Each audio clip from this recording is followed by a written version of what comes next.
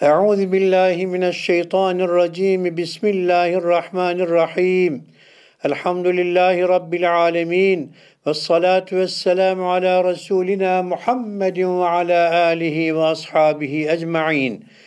والحمد لله الذي هدانا لهذا وما كنا لنهتدي لولا أن هدانا الله لقد جاءت رسل ربنا بالحق Sallu ala Resulina Muhammed. Allahümme salli ala Muhammed. Sallu ala şefii zunubina Muhammed. Allahümme Sallu ala tabibi kulubina ve kurrati ayunina Muhammed. Allahümme Cenab-ı Hak cümlemizi, analarımızı, babalarımızı, dua bekleyen kardeşlerimizi affı mağfiret eylesin. Hepimizi, evlatlarımızı, neslimizi, zürriyetimizi, damatlarımızı, gelinlerimizi çok hayırlı eylesin. Hepimizin, çocuklarımızın, neslimizin beş vakit namaz kılanlardan ve Allah yolunda yürüyen bahtiyar kullardan olmamızı, olmalarını nasip eylesin. Amin. Değerli hanımefendiler, beyefendiler, sevgili gençler, Cenab-ı Hak Celle Celaluhu'ya hamdü senalar olsun. Ufukta, tünelin ucunda artık Ramazan-ı Şerif görünüyor. Elhamdülillah. Rabbim hayırlısıyla kavuşmayı nasip eylesin.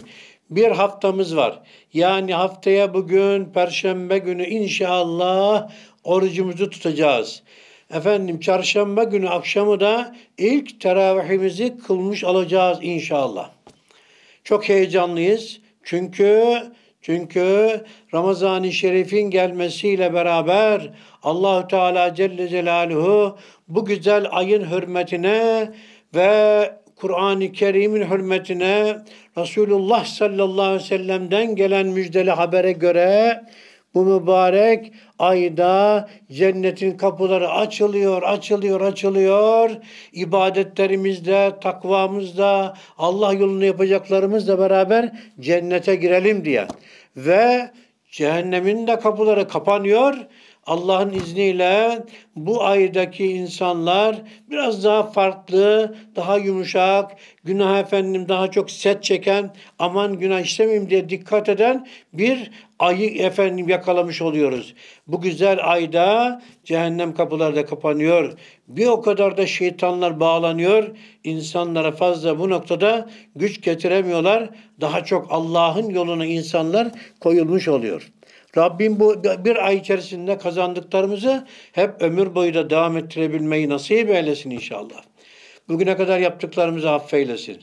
Elimizde, dilimizde, gözümüzde, kulağımızda, içimizde, dışımızda, ayağımızda yani büyük küçük ne yaptıysak Rabbim cümle günahlarımızı affı mağfiret eylesin. Bir de şu müjdeyle başlayalım. Peygamberimiz sallallahu aleyhi ve sellem buyuruyor ki bizlere Men sâme Ramazâne îmânen ve ihtisâben gufira lehu mâ teqaddeme min zembih. Bir insan diyor Efendimiz Aleyhisselatü Vesselam bir kimse sırf Allah rızası için oruç tutsa, sırf Allah rızası için oruç tutsa, mükafatını sırf Allah'tan beklese, böyle gösteriş, efendim işte millet ne diyecek falan değil. Allah için tutacağız oruçlarımızı. Böyle efendim mükafatımızı da Allah'tan bekleyeceğiz. Sadece oruçların girebileceği Reyyan cenneti var.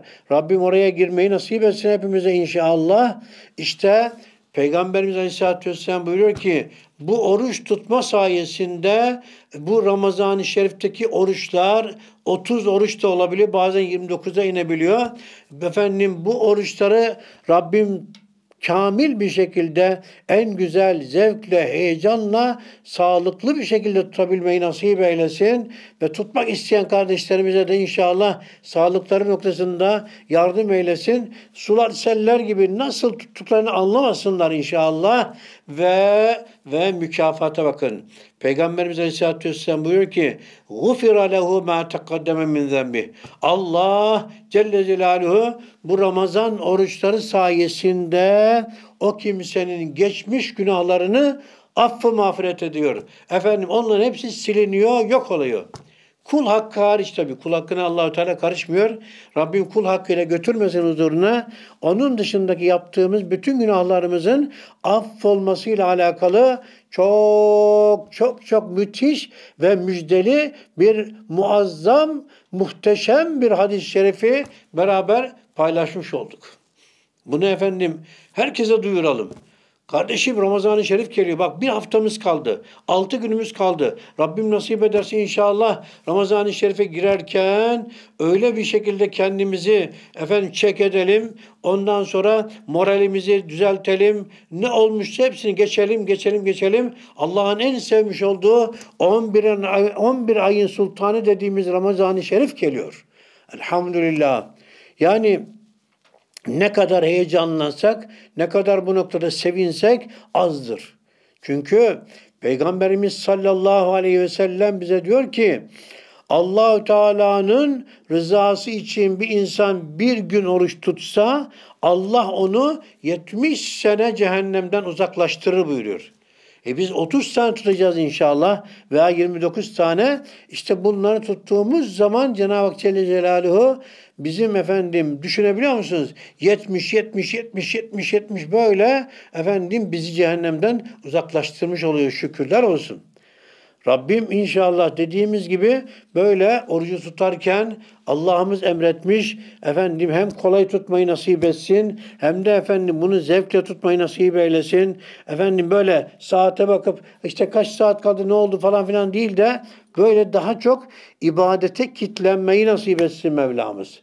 Çünkü neden? Peygamberimiz Aleyhisselatü Vesselam diyor ki bir insan oruç tuttuğu zaman oruç tuttuğu zaman eğer tesbih çekerse bir Subhanallah dediğinde Allah diğer zamanlarda söylenmiş olan 700 Subhanallah'la çarpıyor. Yani bir Subhanallah 700 misliyle sevap getiriyor. Bir elhamdülillah 700 misliyle, bir Allahu Ekber 700 misliyle, bir La ilahe illallah 700 misliyle. Düşünün yani kat kat sevaplar veriliyor yapılan bütün amellere, iyiliklere, güzelliklere. Peygamber Aleyhisselatü Vesselam Ramazan-ı Şerif'te çok cömert olurdu. Biz de cömert olacağız. Mesela iftar vermeye çalışacağız. Bir insan bir iftar vermesi efendim bir oruçluya adeta o kimseye efendim gel kardeşim bir iftarımı efendim kabul ediver. Bir iftar yapalım seninle dedin. Cenab-ı Hak Celaluhu o iftar verdiğin kimsenin almış olduğu orucunun sevabını ondan da hiçbir şey eksiltmeden sana da efendim aynen veriyor. Dolayısıyla böyle kallavi milletin efendim o çok e, e, üst derecelerde vermiş olduğu iftarlara gerek yok. Bazen okuyoruz ya bir iftar 800 liraymış yani efendim. Bu da normal bir iftar göre. Bizim öyle işlerimiz olmaz. 800 liraya sen evinde efendim en az en az en az e, belki e, mübalağa ediyorum ama en az 10-15 kişi e, rahat bir şekilde iftar yaptırırsın kardeşim. 50 kişi 50 liraya bir kişiye masrafın olmuş olsa evinde güzel bir iftar yapmış olursun, iftar ettirmiş olursun ve dünya kadar da dua almış olursun. Evet, cömert olacağız. Fakir fukara ellerini uzattığı zaman vereceğiz, vereceğiz, vereceğiz. Çünkü çok sevap alıyoruz. Cenab-ı Hak Celle karşılığında bize veriyor, veriyor, veriyor elhamdülillah. Dua edelim. Rabbim İstanbul'umuza bol, bereketli yağmurlar nasip eylesin. Barajlarımız sularla dolsun inşallah. Bütün Türkiye'mize Rabbim bereketler nasip eylesin. Huzur nasip eylesin. Deprem, afatlar bunları görüyoruz. Dün neler oldu mesela duyduk efendim, üzüldük. O Şanlıurfa'da, Adıyaman'da yağan efendim yağmurlar neticesinde 15 kişi vefat etti. Yani arabalara efendim görüyoruz böyle sular sürüklüyor götürüyor. Onun için Rabbimizin gücü, efendim kuvveti, kudreti e, o depremde nasıl kendisini gösterdi. Ya Rabbi muhafaza eyle bizleri, cümlemizi muhafaza, cümle ümmeti Muhammed'i muhafaza eyle. Biz neyiz ki yani, neye, neye dayanabiliriz ki yani? Rabbim muhafaza eylesin. Dolayısıyla dualara sarılacağız, ibadetlere sarılacağız. Bir de şunu da söyleyeyim. Çalışan insanlarız. Çalışıyoruz tabii haliyle. Ee, çalışan kimselerin e, geldiğinde iftar vaktine kadar uyumaları söz konusu olabiliyor. Namazlarımızı kaçırmadan arada böyle çıtır uykulara dalarız. İftarımıza kadar beklerken böyle uyku uyursak Peygamber Aleyhisselatü Vesselam yine bize efendim müjde veriyor. Diyor ki oruçlunun uykusu ibadettir. Oruçlunun susması, çok konuşamasın ya böyle ağzın kurumuş falan böyle. Susması da efendim tesbihattır. Duaları da makbuldür. Yani insan duasında oruçlunun efendim makbul olduğu için e, öyle bir ayarlayacak ki kendisini özellikle ve özellikle iftara yakın bir saatte böyle çekilecek kenara. İftarda efendim duasını yapacak. Ailesine sesli dua da yapabilir. Çok harika olur. Herkes ellerini açar çocuklarla beraber. Çocukları sahura, iftara alıştırmak lazım. Hep beraber oturalım sofraya diye. Bu küçüklükten efendim gelecek olan güzellikler, alışkanlıklar Rabbim evlerimize bereketler nasip eylesin. Güzellikler, hayırlar nasip eylesin inşallah. Peygamberimiz sallallahu aleyhi ve sellem yine bize e, sahura kalkın diyor. Sahur berekettir. Akşamdan ben tokum sahura kalkmasam da olur demeyin sakın. Bir yudum su içmek için de olsun sahura kalkın buyuruyor. Berekettir. Dolayısıyla bu güzelliği de kaçırmayalım. Çocuklarımızı da kaldıralım. Hanımefendiler tabii çay hazırlıyorlar, o sahur hazırlıyorlar. Onların da böyle gönüllerinde sahur hazırlıyorum ben dediklerinden ötürü Allah rızası yaptıklarından bir ibadet gibi Allah kabul ediyor. Bir köşede kılabilirsek iki rekat bir teheccüd namazı muhakkak kılalım. Özellikle de özellikle de Peygamberimiz Aleyhisselatü Vesselam'ın büyük müjdesi var. Ee, sahurumuzu e, efendim yaparken efendim dikkat edin. Sünnettir bu. Sahuru son sınıra doğru bırakalım. İftarı da acele efendim vakti girer girmez açalım. İftarı vakti girer girmez açalım. Ezanlar başladı. Allahu Ekber, Allahu Ekber. Ezanın sonunu beklemeyelim. Hemen hurmamızda açalım. Hurma özellikle bulunduralım. Peygamber Aleyhisselatü Vesselam hurma berekettir diyor. Eğer hurmayı bulamazsanız suyla açın buyuruyor. Yani su da temizliktir buyuruyor. Ya hurma önceliğimiz ya da su. Yani çorbaya direkt girmeyin diyor bize. Veya pideyle direkt efendim veya zeytinle falan başlamayın. Ee, ya hurma ya da su buyuruyor. Buna da bu da bir efendim tavsiyedir. Ee, Efendimiz Aleyhisselatü Vesselam'ın sünnetidir. Dikkate alalım inşallah. Bir de bir de kesinlikle ama kesinlikle 30'da 30 teravihlerimizi tam kılalım. Güzel kılalım. Efendim iki rekat iki rekat namaz kılmak eftaldir teravihi. Öyle camileri tercih edelim. Yavaş, takva kıldan, hatimle namaz kıldıran yerleri tercih edelim. Ondan sonra e, teravihi tam kılarsak, teravih tam kılarsak, efendim orucumuzu da tam tuttuk. Peygamberimiz Aleyhisselatü Vesselam'ın müjdesi diyor ki haraca min zunubihi keyevmin veledetu ummuhu. Allah o kimseyi orucunu Allah rızası için tuttu. Mükafatını Allah'tan beklemekle. Teravihlerine tam gitti. Öyle bir efendim işte yalpalamadı. Bir gün kılayım, beş gün kılayım. Sonra efendim falan tekrar gideriz, bakarız. İşte efendim arkadaşlarla muhabbet ediyoruz. Yok işte efendim yeni yaptık iftarımızı, sigaraydı, çaydı. Estağfurullah. Yani bir şeye e, o güzel teravih namazına asla bunlarla efendim karşılaştıramayız da. Yani insan satmasın. Aman aman, aman dikkat edelim. Dolayısıyla Teravihimizi de kam tam kılalım, güzel kılalım. Peygamber Aleyhisselatü Vesselam diyor ki bunları yapan bir kimse hem teravihini Allah emretti diye efendim e, Allah emretti diye orucunu tuttu. Ben de sünnet kıldım teravihlerini efendim devam ettirdi. O kimse o kimse annesinden doğmuş olduğu gün gibi günahlarından çıkar buyuruyor. Allahu Ekber. Yani annemizden doğduğumuz gün nasıl temizlik, günahlarımız yoktu, pırıl pırıldık. Aynı Allah Ramazan-ı Şerif'in sonunda teravihlerin, orucun hürmetine bizi de tertemiz ediyor. Rabbim efendim bu güzellikleri yakalamayı nasip etsin. Sonra da kirletmeden huzuruna varabilmeyi nasip eylesin. Amin, amin, amin. Yine, yine e, şuna dikkat edelim. Peygamber Aleyhisselatü Vesselam bizlere şöyle diyor. Bir kimse oruç tuttu. O kimse için lissaimi ferhatan. İki tane ferahlık vardır. Bir ferahlık akşamleyin iftar anında bekliyorsun, bekliyorsun, bekliyorsun. Top atılıyor veya Allahu Ekber diye bir ezan okunuyor. Sen orucunu açıyorsun, orada bir rahatlama oluyor. Su içiyorsun veya işte hurma dedik ya az önce. Bunlarla beraber orucunu efendim açtın, bir güzel ferahlama oldu. İkinci ferahlama ise Peygamberimiz Aleyhisselatü Vesselam diyor ki ve ferhatun hine yelka rabbehu Rabbisine kavuştuğu anda olacak ki kim bilir ne kadar güzel Allah Celle bizi karşılayacak bu oruçlarımızı tuttuğumuz için. Millet efendim yiyor, ediyor. Ondan sonra oruçta bir de efendim gizli yeme olayı da olabilir. Değil mi? Yani insanlar tamam seni oruçlu bilirler falan ama gizliden gizliden götürebiliyorsun. İşte Allah Celle Celaluhu görüyor, Allah rızasını tutuyorsun ya. İşte Cenab-ı Celle Celaluhu da benim bu mükafatımı efendim ancak ben veririm diyor. Ben veririm diyor. Hiç kimse bunun karşılığını veremez. İşte Rabbim inşallah gittiğimizde o mükafatla da efendim bizleri karşılaştırsın. O mükafatları görmeyi, elde etmeyi nasip eylesin inşallah.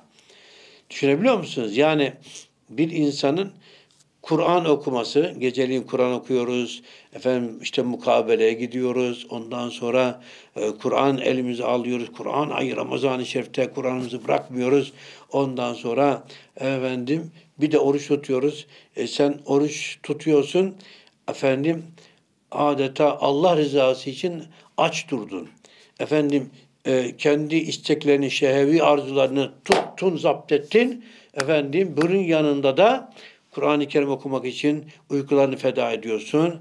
Ondan sonra Cenab-ı Hak müjde veriyor. Diyor ki bu Kur'an ve oruç gelecek kıyamet gününde efendim şefaat edecek. Şefaati de makbul olacak. Ya Rabbi ben şefaat etmek istiyorum. Kim? Oruç. Kim? Kur'an-ı Kerim. Tamam buyurun. Şefaat ne demek? Yani günümüzde diyelim ki bir insan için referans oluyorsunuz. Onun gibi bir şey. Ben bunu tanıyorum. Buna yardımcı olun falan gibi. Ne, ne kadar güzel olur ya. Ya Rabbi nasip et hayırlısıyla inşallah. Şöyle sorular da gelebiliyor. Tabii efendim hepimizin başına gelen bir şey bunlar. Ondan sonra işte kan aldırdım, orucum bozuldu mu gibilerinden. Kan aldırmakla daha doğrusu vücuttan bir şey çıkarsa oruç bozulmuyor. Kendiliğinden kusma gelirse ağız dolusu da olsa oruç bozulmuyor. Ama sen kendin miden falan böyle çok ondan sonra bunaltı yaptı kendi parmağını atıp da kusarsan ağız dolusu o orucunu bozar. Yani efendim onu yapma. Bir de bir de sıkıştığımız zaman böyle soru sormak istiyoruz. Hepimize büyük bir kolaylık. Unutmayalım bunu. Alo 190 Diyanet İşleri Başkanlığımızın böyle bir hattı var efendim soru sorabiliyoruz. Orada sürekli nöbetçi hocalarımız olacak. Tabii gündüz soracağız bunları. Saat diyelim 8.30-9 ile akşam 5-6 arası hocalarımız size Alo 190'dan efendim cevap verecek. Hocam ben işte efendim dayanamıyorum. Orucumda şu sıkıntım var. Bazen kadın hallerinden bir şeyler olabiliyor. Onlar için. Kısacası soracağımız soruları Alo 190'dan sorup Diyanet İşleri Başkanlığımızın vermiş olduğu cevapla rahat bir şekilde hareket edebiliriz. Onlar da Allah'tan korkan insanlar fetvalarını verirken herhalde Allah'ı düşünüyorlar, kıyameti düşünüyorlar, hesap günü düşünüyorlar. Seni beni düşünmüyorlar. Yani senin efendim ondan sonra rahatlaman için seni adeta efendim bu noktada e, iyi, aferin maşallah ne güzelmiş demek için e, kendilerini yakmazlar. Yani böyle bir kimse kendisini tehlikeye atmaz. Peygamber Aleyhisselatü Vesselam da zaten bize öyle diyor. Ecra'ukum alen nar, ecra'ukum alel fetva. Yani sizin evkemakal, sizin e, ateşe en cüretkar olanınız, fetva vermekte en cüretkar olanınızdır. Fetvaya herkes girişmez. Girişemezsiniz yani. Çok iyi bilmedikten sonra konuyu ben bilmiyorum diyeceksiniz, soracaksınız. Sormak lazım. Sormanın efendim böyle ayıbı yoktur. Yeter ki insan rahat bir şekilde medeni cesaretiyle ben bilmiyorum demeli, diyebilmeli. Nefsine burada efendim asla ve asla uymamalı. Toparlıyorum, duaya geçeceğim. Yani Önümüzdeki Allah nasip ederse çarşamba akşamı 22 Mart çarşamba akşamı teravihimize başlıyoruz. Teravihimizde kılarken şöyle güzel bir hoca efendi araştıralım. Hatimle namaz kıldıran yerlerimizi araştıralım. Yani şunu ben böyle bir efendim o kadar hoşuma gidiyor ki gerçekten e, mükemmel bir şey. Yani Ramazan-ı Şerif'te Kur'an indi. Kadir Gecesi Ramazan-ı Şerif'te. Kadir Gecesi'nde Kur'an-ı Kerim geldi. Siz Ramazan-ı Şerif'te Kur'an ayında Kur'an-ı Kerim'i başından sonuna kadar 600 sayfayı 30 bölümde teravih namazında ayakta ellerinizi bağlamışsınız, boynunuzu büktürmüşsünüz ve dinliyorsunuz. Kur'an ayakta efendim dinleniyor. Hürmet ediliyor. Eller bağlanmış.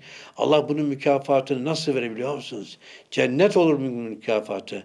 Bunun mükafatı anadan doğma gibi efendim gün gibi tertemiz pırıl pırıl olma olur. Rabbim nasip etsin inşallah. Yani buna dikkat edelim.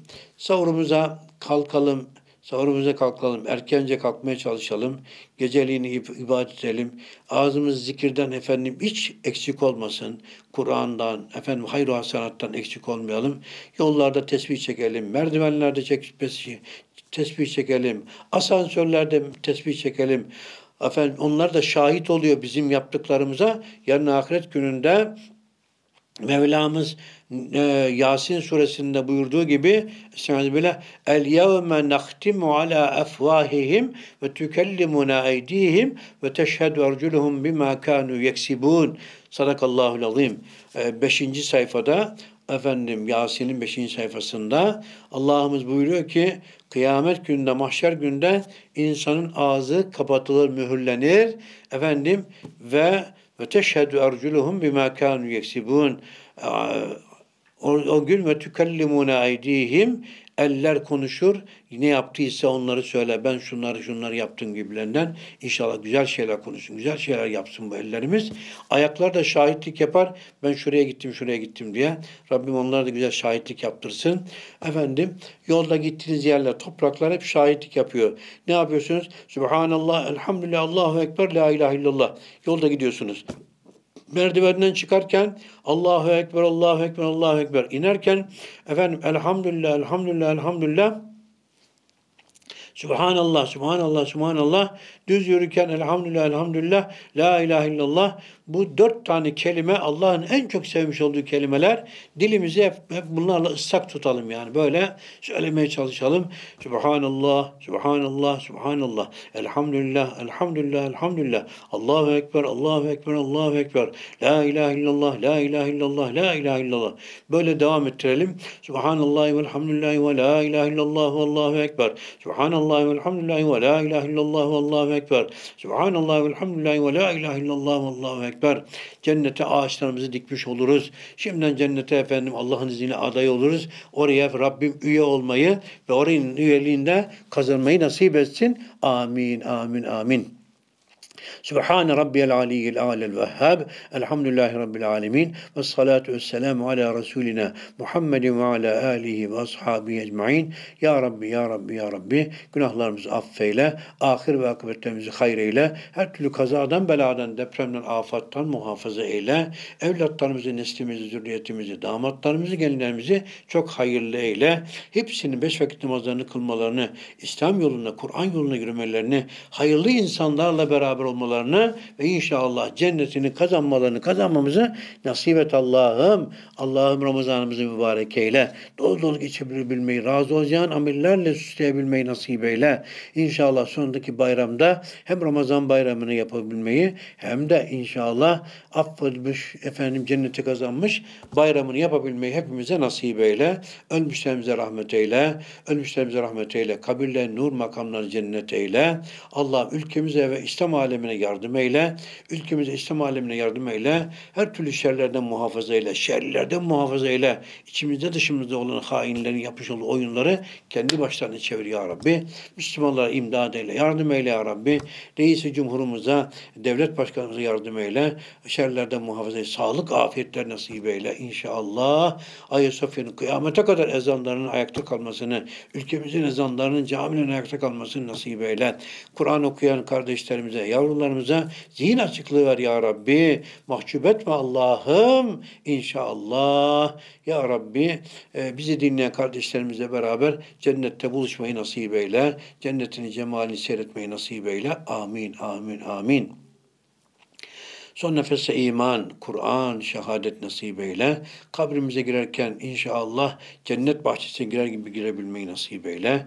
Yarın mahşer gününde Efendimiz Aleyhisselatü Vesselam'ın şefaatiyle Sırat Köprüsü'nden şimşek gibi geçmeyi, yıldırım gibi geçmeyi nasip eyle.